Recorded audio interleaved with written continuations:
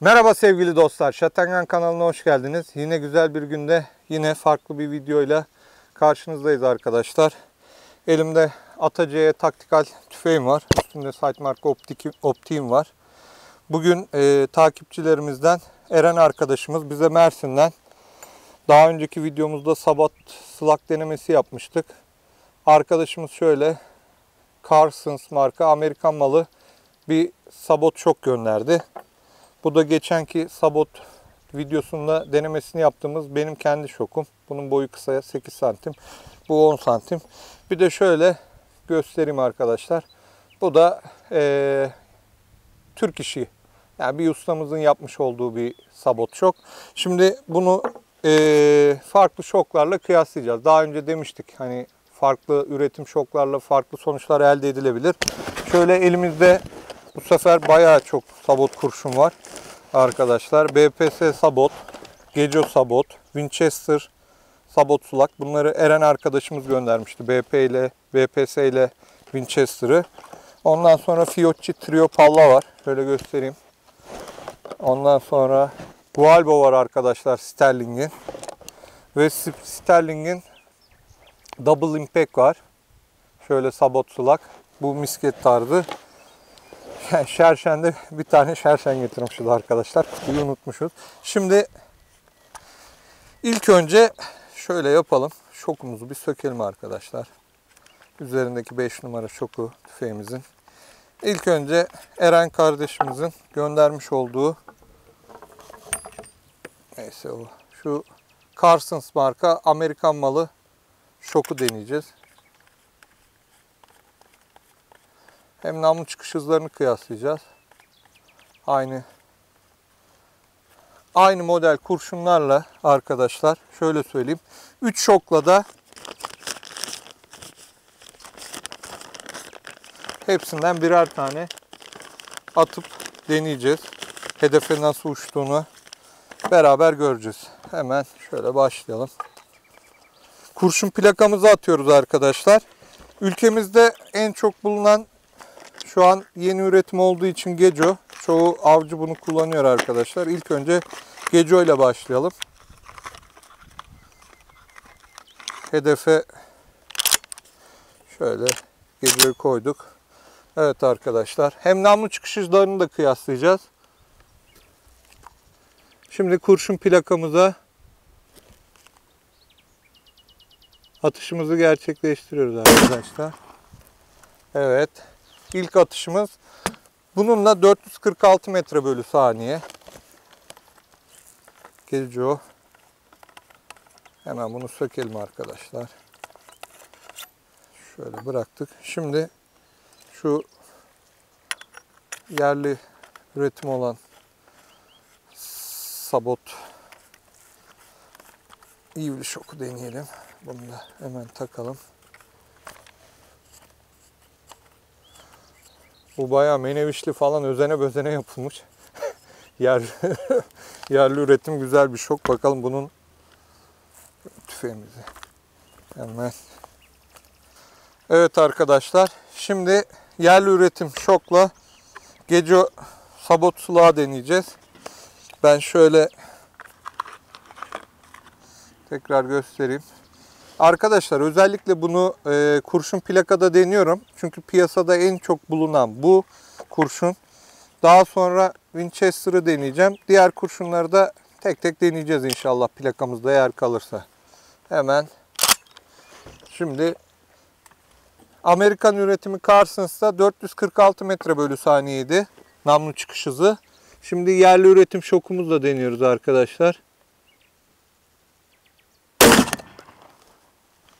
559 metre bölü saniye. Şunu bırakalım hemen şuraya yazalım. 459 metre bölü saniye. 459 metre bölü saniye. Bunun arasında yaklaşık 13 metre bölü saniye fark çıktı aynı kurşunda arkadaşlar. Demek ki yerli üretim biraz daha fonksiyonel ve kullanışlı. Şimdi bunu da sökelim. Şöyle Yivset'in ben göstereyim arkadaşlar. Bundaki Yivset diğerlerinden biraz daha fazla. Şöyle görebilmişsinizdir umarım. Şimdi bu bana ait. Üzerinde Beretta yazıyor ama arkadaşlar biliyorsunuz burası Türkiye. Çakma olma ihtimali yüksek ya. Bunu da şimdi takalım. Şöyle hemen taktık. Elimizi sıktık. Yine aynı şekilde bunda da Geco'yu deneyeceğiz. Dediğim gibi arkadaşlar Geco'yu denememizin şeyi Türkiye'de kolay bulunabilir. Fiyatlar uygun. Önceden ilk üretim BPS'nin de şu an BPS'de yok. İşte farklı sabot sulaklar var. Yani bunlar da şöyle kılıflı kurşunları özellikle Gualandi tip Sterling Gualbo Fiocchi Trio Palla Bunlar bir de Züber'in vardı ama elimde kalmamış arkadaşlar. Onu şey yapamadık. Ondan sonra şu Double Impact arkadaşlar misket tarzı sabot sulak diye geçiyor. Bunları da deneyeceğim özellikle. Hepsini getirdik bakalım. İmkan olduğu kadar videomuzda sizlere göstermeye çalışacağız. Evet şimdi arkadaşlar kendi Ber Beretta yazan slak e, şokumu deniyorum. Şöyle gene Geco.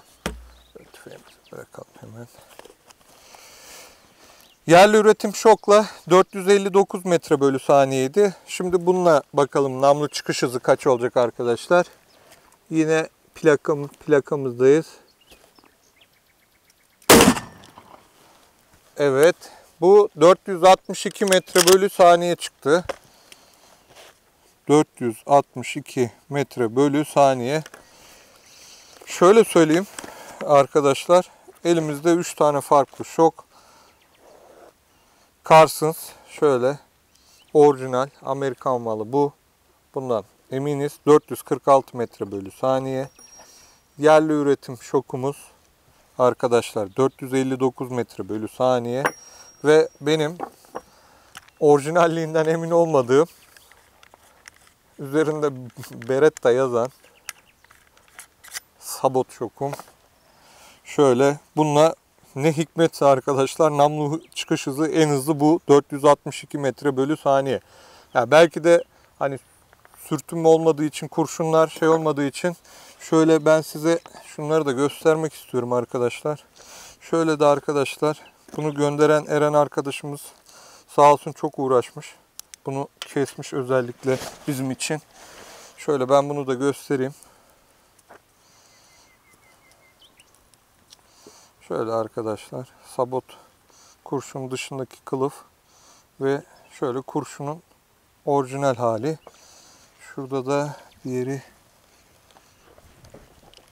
Winchester. Arkadaşlar masa kalabalık olduğu için heh, önümüzde duruyor bulamadık. Şöyle bunu da hemen açalım. Arkadaşlar bak bunlar keçe tapa kullanmışlar. Winchester tapa. Yine şöyle plastik kılıf içerisinde. Bu da Winchester'ın sabot sulağı arkadaşlar. Şöyle göstereyim. Şimdi bunu da bu videomuzda deneyeceğiz. Yani uzun bir video olmasın diye arkadaşlar diğer kurşunları farklı bir videoda devam edebiliriz. Şimdi şunlar şuraya yazalım. Geco Sabot. Şimdi Winchester'la devam ediyoruz. Şuraya Winchester. Evet. Şimdi de aynı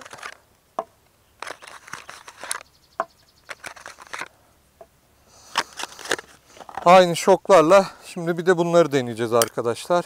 Carsons'la devam ediyoruz.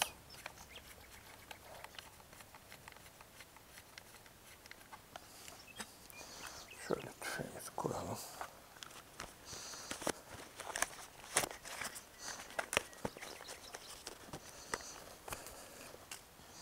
Evet şöyle gösteriyorum arkadaşlar. Winchester. Evet. Bir dakika. Cihazımız arkadaşlar hata vermiş. Bir resetleyelim. Şöyle tüfeğimi ben bir alayım.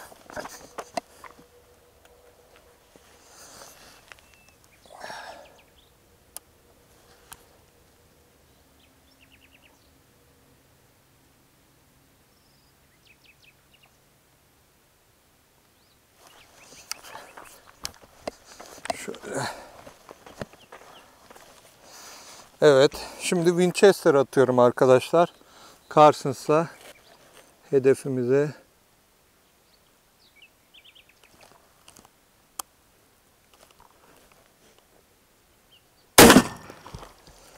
Evet. Oo. 700 metre bölü saniye arkadaşlar. Şu Carsons'la Winchester 700 metre bölü saniye. Bu muhteşem bir hız. Bu arada plakamız da düştü. Ben hemen onu da düzelteyim arkadaşlar. Evet arkadaşlar. Şimdi e, ilk atışımızı gerçekleştirdik. 700 metre bölü saniye çıktı. E, hedefimizin az biraz üstüne gittiği için şimdi aynı atışı yani şu Carsons şoku tekrar deniyoruz. Hem namlu çıkış hızını tekrar teyit etmek amacıyla aynı atışı ikinci kez yapıyoruz. Şöyle. Evet. Şimdi atışımızı tekrar gerçekleştiriyoruz. Evet. 407 metre bölü saniye arkadaşlar. Şöyle 407 metre bölü saniye. İlk atışımızda 700 metre bölü saniye ölçmüştü. Yani bariz bir fark. Şimdi teyit etmiş olduk. 407 metre bölü saniye. Şimdi diğer şoklarla da deneyeceğiz. Arada böyle bariz bir fark var mı yok mu? Hem emin olalım. Carsons şokumuzu bıraktık. Şimdi yerli üretim olan şokumuzla atış yapacağız. Bununla kaç metre bölü saniye çıkacak. Elimde çok fazla Winchester olmadığı için çok fazla hata yapmamaya dikkat ediyoruz arkadaşlar. Şöyle Şöyle elimizde son 3 adet kaldı. 2 tane de şokumuz var arkadaşlar. Atışımıza yerli yapım şokla devam ediyoruz. Şöyle hemen Winchester Evet. Bu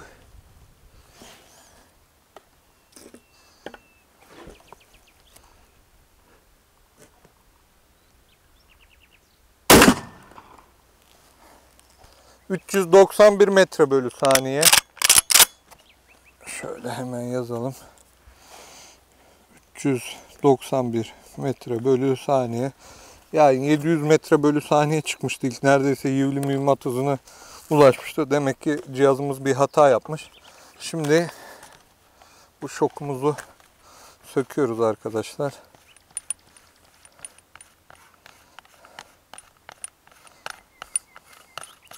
Bunu da çıkardık. Şimdi şu benim Beretta USA çakma şokumla devam ediyoruz.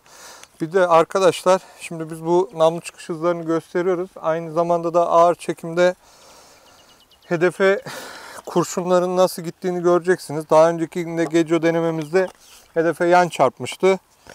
Bayağı iyi yorumlar almıştık. Merak eden arkadaşlar yani bu işle uğraşan arkadaşlar dediğim gibi adam Mersin'den Eren arkadaşımız hiç üşenmedi.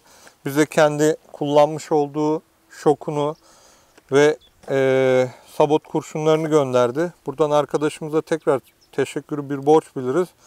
Bize destek veren takipçilerimizin olması gerçekten çok güzel ve harika yorumlar, harika destekler alıyoruz. Bu bize daha çok şevk veriyor arkadaşlar. Her şey maddiyat değildir. Böyle manevi bir destek olması yani şu bile büyük bir avantaj bizim için. Hani biz de temin edebildiklerimizi temin ediyoruz. Destekçilerimizden de böyle şeyler, böyle ilgi görmek gerçekten güzel. Tekrar buradan arkadaşlarımıza teşekkür ediyoruz ve denemelerimize devam ediyoruz. Şimdi denememizi şöyle bir kulaklığımızı takalım. Şimdi de kendi şokumla deniyorum. Bakalım bunda kaç metre bölü saniye çıkacak hız.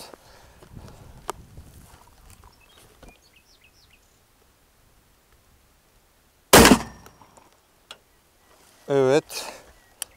Evet arkadaşlar 638 metre bölü saniye çıktı. Bu atışı bir daha yapacağız arkadaşlar. Evet arkadaşlar. Şimdi e, elimizde kalan son sabot. Son atışımızı tekrar yapacağız. Hem e, ölçümde değer biraz yüksek çıktı hem de iki kurşun ay üst üste denk geldi. O yüzden son kurşunumuzla tekrar atışımızı yeniliyoruz. Şöyle. Evet.